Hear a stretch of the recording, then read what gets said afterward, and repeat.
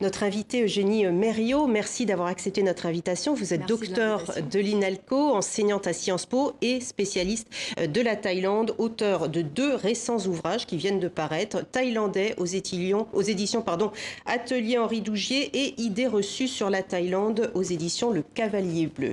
Alors cela va faire cinq ans maintenant, bientôt en mai prochain, euh, que Prayut Chanocha a pris le pouvoir par un coup d'État militaire. Comment se fait-il finalement que la communauté internationale accepte une dictature militaire dans une indifférence quasi, euh, quasi générale alors premièrement, euh, il faut remettre euh, euh, ce coup d'État dans son contexte. En Thaïlande, le coup d'État est un mode d'exercice traditionnel du pouvoir, puisque depuis 1932, qui est le date du passage à la monarchie constitutionnelle en Thaïlande, on a 13 coups d'État qui ont réussi, c'est-à-dire un coup d'État tous les 6 ans et demi en moyenne. Donc on a ce premier aspect. Le deuxième aspect, c'est une idée reçue selon laquelle la dictature militaire thaïlandaise est une dictature soft. C'est d'ailleurs une idée reçue que je déconstruis dans l'un des ouvrages. Et c'est euh, sur euh, finalement ce, cette idée reçue que se construit cette acceptation de la communauté internationale par rapport au coup d'État militaire. Alors il faut quand même mentionner que la condamnation internationale a eu lieu et d'ailleurs le président François Hollande a été l'un des premiers à condamner le coup d'État après qu'il ait eu lieu en, le 22 mai 2014. Mais néanmoins, on a euh, toujours cette, cette tolérance. Et d'ailleurs, Prayut Chanocha s'est rendu en France à l'invitation du président Emmanuel Macron. Alors vous dites 13 coups d'État depuis 1932. Euh, vous en êtes même arrivé à, vous poser une question clé. Euh, la démocratie est-elle compatible avec la culture thaïlandaise? Alors ça, c'est également une idée reçue qui est euh, à la fois thaïlandaise et extra-thaïlandaise.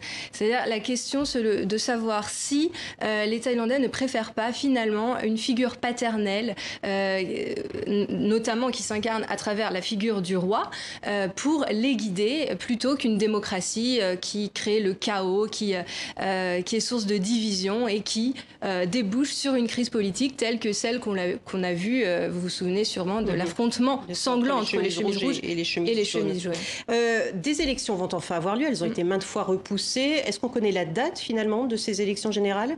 Alors les élections pour l'instant, sont fixés au 24 février 2019, mais rien n'est moins sûr, puisque de, premièrement, le décret euh, n'a pas eu lieu, donc il n'est pas sorti, donc on attend toujours, et deuxièmement, euh, les élections ont été repoussées sans cesse depuis 2014, donc pourquoi est-ce que cette fois-ci l'élection aurait lieu?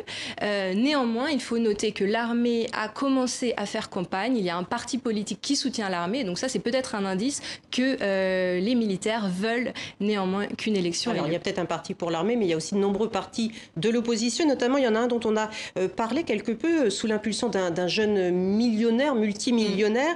Euh, en avant l'avenir, c'est le nom de ce parti. Quelle est sa force face au, pouvoir de la junte qui est là depuis cinq ans alors le, leader de ce parti, donc Thanatorn Kit, alors je sais c'est très difficile à prononcer, mais il y a le petit surnom mhm. qui est Pi Ek, hein, qui, est le surnom utilisé par les Thaïlandais pour le désigner. C'est un parti qui veut dépasser le clivage jaune-rouge justement et proposer une nouvelle alternative à la politique traditionnelle.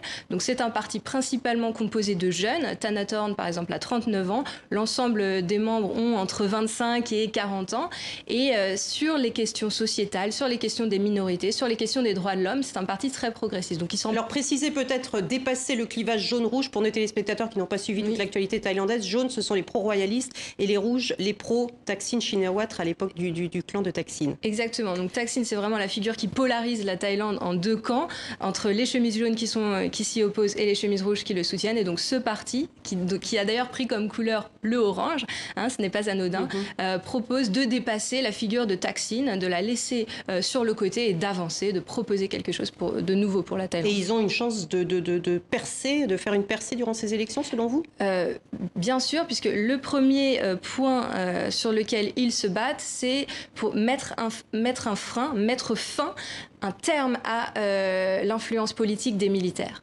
Et donc, euh, sur ce point, on fédère une large partie de la population thaïlandaise qui a bien vu que les militaires, depuis qu'ils sont au pouvoir, ont mené des politiques désastreuses au niveau économique, au niveau social, au niveau de l'image internationale de la Thaïlande également. Alors, on a vu également euh, des artistes qui se sont, qui ont pris position, alors que a priori, c'était pas vraiment gagné d'avance dans un pays où il est interdit, par exemple, de se, réunir depuis 2014. sur les réseaux sociaux, un clip de rappeur. Alors on le voit à l'image là derrière moi. quelle a été la réaction? Parce que c'est un rap contre la dictature, c'est d'ailleurs le nom de ce collectif. quelle a été la réaction de la junte? La réaction de la jungle, dans un premier temps, a été euh, de, euh, de, convoquer les rappeurs. Alors ça a eu un effet pervers, puisque le clip, au départ, euh, était relativement confidentiel. À partir du moment où l'armée a fait une promotion pour le clip, on a eu 20 millions de vues en l'espace de deux semaines. Et donc, c'est devenu un phénomène mondial. Et donc, l'armée, depuis, a décidé de faire marche arrière. Merci beaucoup Eugénie Mériot d'avoir d'être venue sur notre plateau. Et donc je rappelle vos deux ouvrages excellents pour tous ceux qui veulent en savoir plus